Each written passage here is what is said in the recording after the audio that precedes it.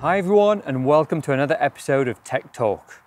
I'm at Adastral Park, one of the UK's leading centres for technological innovation and a focal point for the country's 5G development.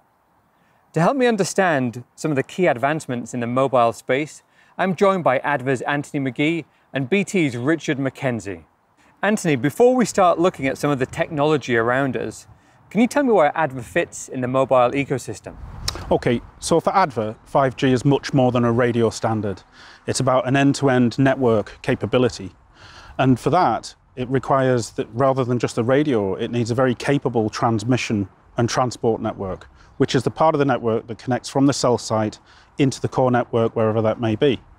So to do that, we're actually bringing our technology tripod, which is connectivity, synchronization, and network function virtualization to the network.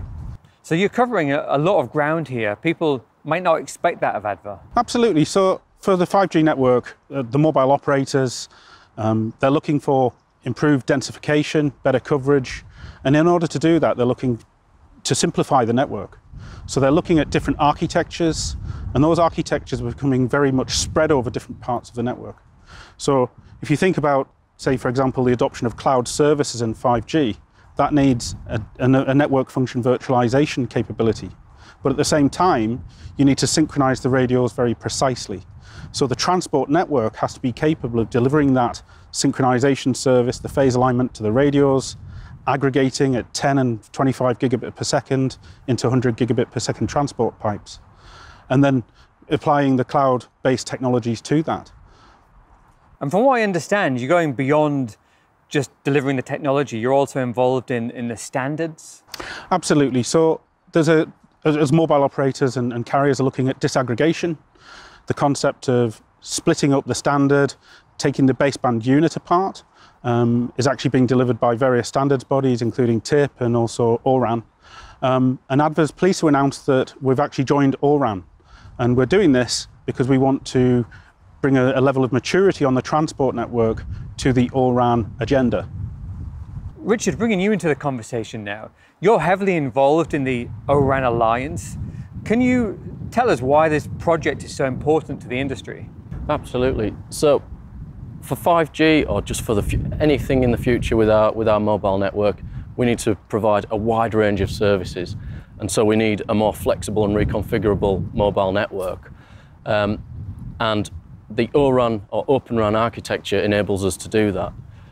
Um, so there's a, there's a few key elements there. First of all, it's virtualization. We're turning radio functionality into software functions so it can be more easily and quickly reconfigured. Um, to ensure that we can actually achieve that virtualization and flexibility, we need to make sure that it's based on a hardware platform um, that can be used by a wide range of, um, of software providers. Um, so that's a key part of of this architecture. And then finally, it's the actual physical disaggregation. So that's actually splitting the base station from one, one single element into several components. And those components can be placed around the network based on the type of service we want to provide.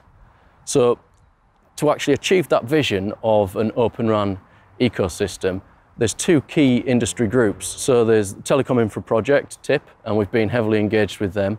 And there's also ORAN, who we're heavily engaged with too. And the, the important role that ORAN takes is they are the standards body.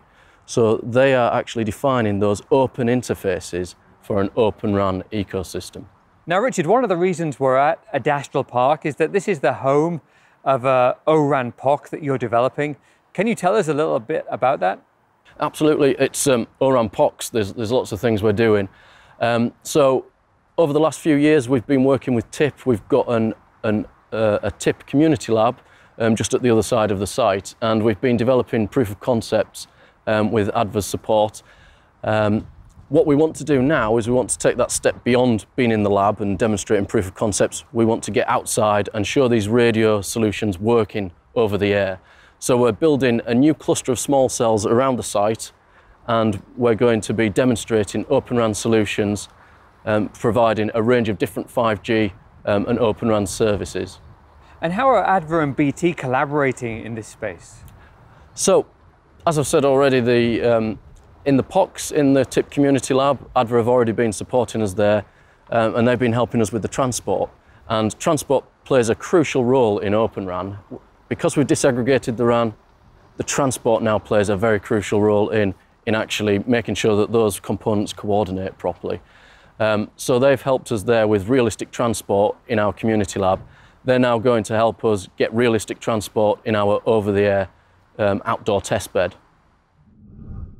We've now moved to one of the key areas of the POC.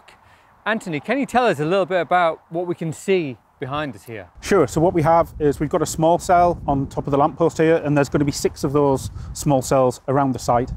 Um, at each location, we're putting in a transport solution that allows BT to swap and change their radio depending on which part of the POC they're actually trying to prove out.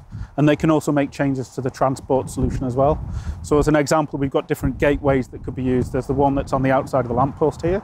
It's handing over power over Ethernet, synchronization, and connectivity to the small cell. And there's also a small cell gateway that lives inside of the lamppost in case it needs to be hidden away to avoid street clutter. Fantastic. Anthony, thanks for joining us today. Thank you.